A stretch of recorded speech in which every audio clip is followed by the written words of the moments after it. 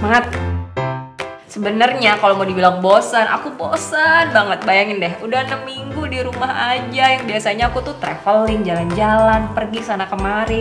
Namun sekarang kita harus mengikuti anjuran pemerintah dengan di rumah aja dan melakukan ibadah Ramadan di rumah.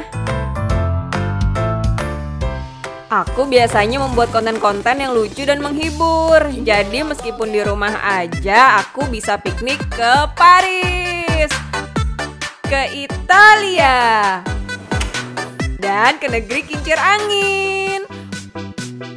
Pokoknya piknik asik deh. Nah, buat yang tanya story jalan-jalan aku, itu aku buatnya cuma pakai aplikasi kok. Tenang aja, aku tetap di rumah aja ngikutin anjuran pemerintah, tidak mudik dan tidak piknik.